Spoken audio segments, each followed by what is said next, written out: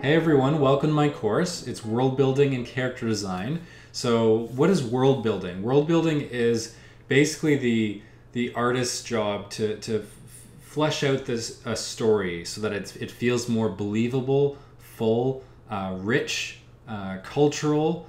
Uh, it's not just sort of a um, blank template with no real personality. If a, a, good world builder is someone who can really add um, a sense of believability and personality to uh, the locations, the characters, the vehicles, the props, whatever the, the story involves. The world builder's job is to make it um, as descriptive and specific and and fitting a particular mood or style as possible. So basically, what we'll be doing in this course is what in feature animation they call visual development. So that is a wide term, and basically it encompasses uh, designing the locations, designing the vehicles, designing the props, designing the characters, all those early kind of uh, design concepts that you need to do are always in the pre-production of the of the whole project because you you need that decided before you start animating anything or you start building the game. You need to know who your characters are. So I'm so the, the first part of this course is going to be talking specifically about character design.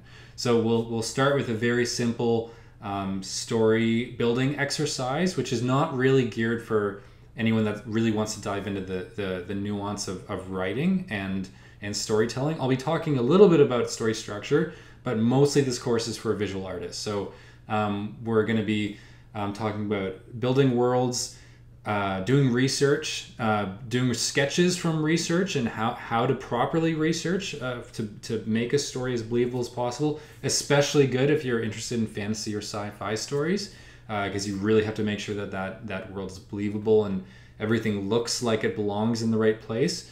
Um, and then once we have a little bit of an idea of what our story is going to be, uh, you're going to be basically sketching a character, and I'm going to help you develop that character and develop their personality so that they feel like they really belong to a, a particular place.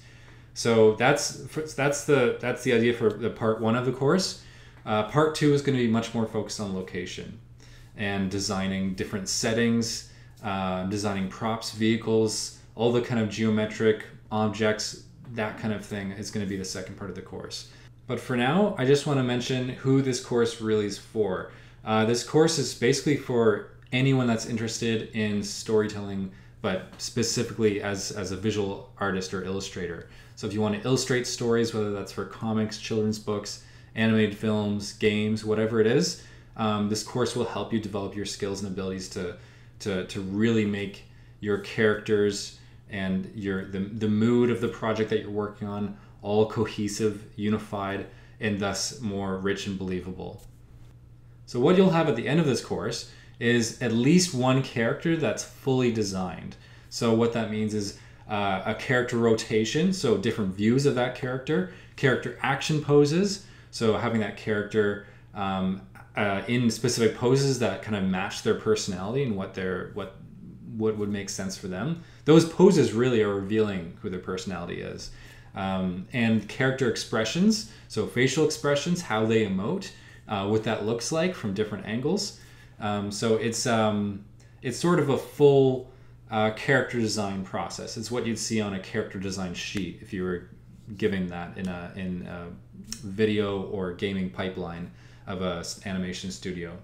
So that's sort of what this course is all about, and I can't wait to teach this course. So I hope you're as excited to draw as I am to teach, uh, and we'll make some great stories together.